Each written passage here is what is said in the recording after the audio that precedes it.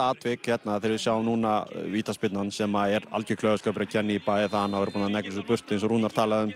Og svo brítur hann þannig klauðulega af sér og, og þarna einhvern veginn bara svona snýstæðinsleikur í vikingi vil og svo líka fannst mér þessi skipting þegar Kæl leiðilegt að heyra með viðbennið að hérna, þegar það gera í rauninni nöðsilega breytingu á liðinu og taktíkinni. Og mér fannst það bara henda miklu miklu betur. Og þá fannst mér vikingarnir svona vera komnið með leikinn sínar hendur og í rauninni aldrei missa völdin á leiknum eftir það. Sáum hérna skallan frá Nikolaj Hansen í uh, þverslána Kristall Máni átta með skot uh, hann það var bara mikið á honum hann var aðsóps mikið í þessum leik en svo kemur þetta mark Lárus Óri og, og þarna Þannig eru vikingarnir konið með algjört tangarhald á, á þessum leik.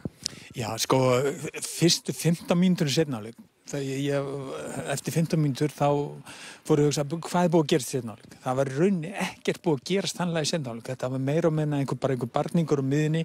Ég held að það veri ekki komið neyn uh, færi þannlega að segja leiknum. Að leikurinn var kannski að spila svona eins og vikingarnir vildu.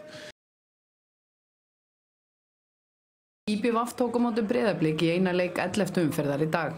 Staðarliðana var afar ólík fyrir leik dagsins, IBVF í bottsætinu og enn án sigus með fjögur stig. En blikar sem hafa leikið á alls otti á toppnu með 30 stig. Staðan var markalus í hálfleik þar sem IBVF-lið barðist vel og átti sín færi. Blíkalið oft spila betur og voru ólíki sjálfum sér. Síðari hálfleikur einkendist af mikillir baráttu en á 75. mínútu fóru tvö guldspjöld á loft og hefði annars spjaldi allt eins geta enda sem raut. Það gerist ekki og áframhjálp leikurinn þar sem bæði lið reyndu hvað þau gáttu að sækja sigur markið. Blíkað pressuðu stíft á heimamenn en allt kom fyrir ekki og markalust jafntefli var niðurstaðan.